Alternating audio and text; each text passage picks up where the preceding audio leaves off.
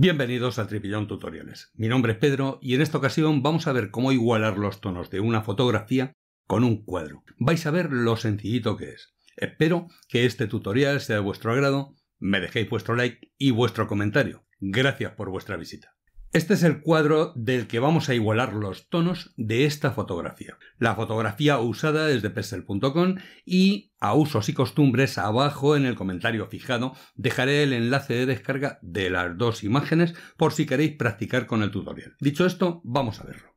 Como digo, es muy muy sencillito igualar los tonos de la fotografía con el cuadro y para esto vamos a hacer uso de una de las novedades que viene en Adobe Photoshop 2022. Nos vamos a filtro Neural Filters, y aquí vamos a usar uno de los filtros nuevos que viene en la sección de filtros beta, que es transferencia de color. Lo activamos a la derecha. Puede ocurrir que no lo tengáis descargado, veréis este icono que se ve aquí, pues lo descargáis y seguidamente le dais a activar.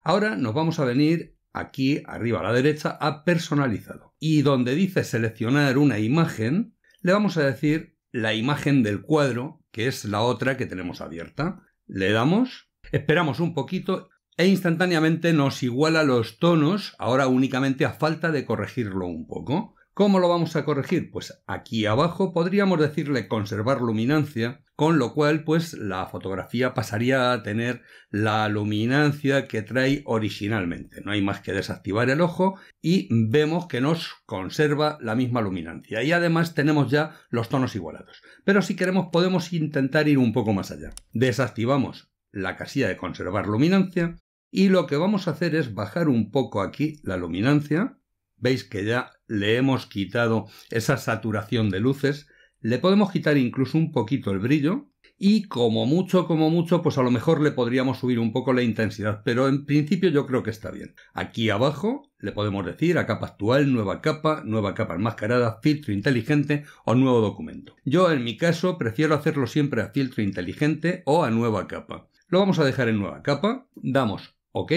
y como veis en un momentito hemos igualado los tonos del cuadro con la fotografía.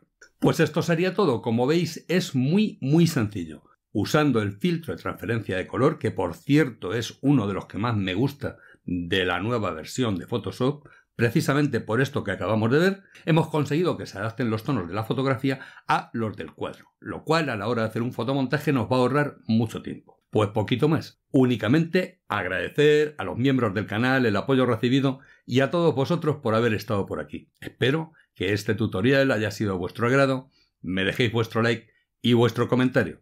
Gracias por vuestra visita.